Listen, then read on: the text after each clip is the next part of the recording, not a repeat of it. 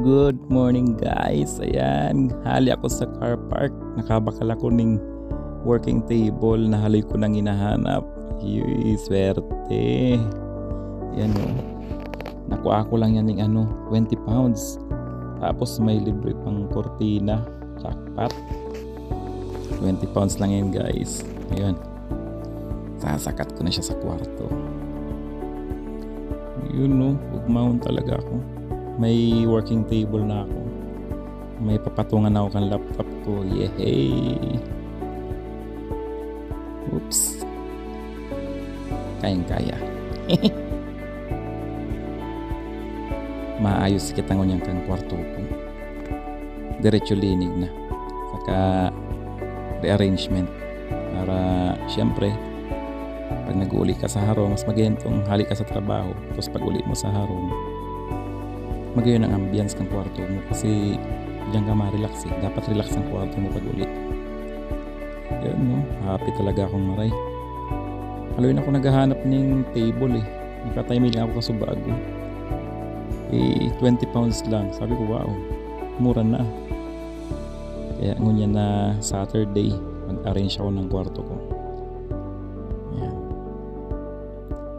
Dikit na linig-linig, Malinig naman ang kwarto. Pero may kumanya nililinigan weekly. Yan. Excited na ko.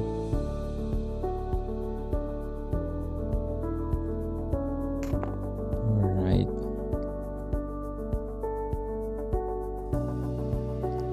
Yan mga badok ko yan. Sarong ano, drawer. Gagayin kang furniture ni Dadigdi oh.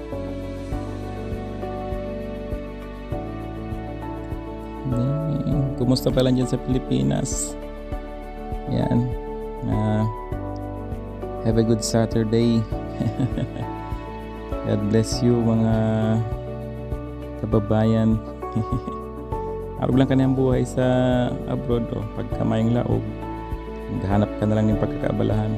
Uh, ingon yan kasi ugmaon kasi nabakal ko na ni yung table na ni. Sige ko kaning hanap sa online. Marahal Ikaso bago paglibot min sa car park, nakatiming ako sulusulo pati ang duman. Barato pa. Tapos, tinapon pa kaming libreng ano, kurtina. Kaya, nilabang ko tulos para makabit ko. Color brown. Ay tamang-tama para pag nagtuturog ako pag kasi narado ko ang kurtina madiklom igdi sa loob ng kwarto makakaturog ako yan o gayon no ano kaya whoops o yan na ang sakuyang kwarto. Ooh, very relax. Ayan o, di ba?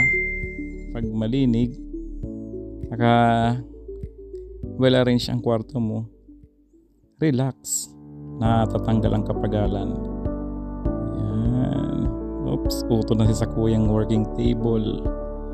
Duman ako ma gibo-gibo ka mga gibuhon ko Diyan ako magbibisi-bisihan. Yan o. Oh. Ay, thank you Lord. Yan, pagka naka-off ang ilaw. Yan. Dahil siya maliwanag. O, oh, diba? Oto na si Cortinang libre.